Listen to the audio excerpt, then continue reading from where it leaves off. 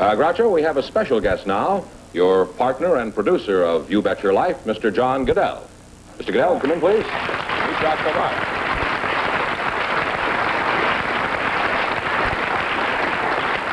Why, Johnny Guedel, what's on your mind? Well, since this is the beginning of the 10th year of You Bet Your Life, we have a little surprise gift for you. It's from Bob Dwan and Bernie Smith, the directors of the show that make you look so good every week.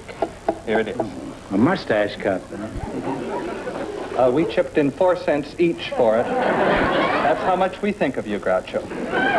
It isn't important how much a gift costs, John. It's, it's the fact that you've gathered around you the cheapest bunch of skinflints in the business.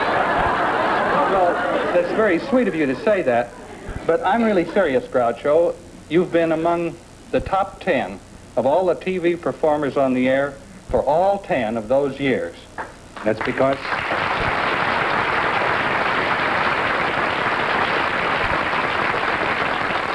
Even That though... because I stumbled into you one day, John.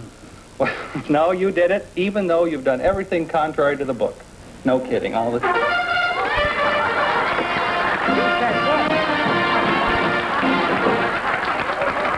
You said book, and that's the secret word for tonight. I know it. Thanks, Mom.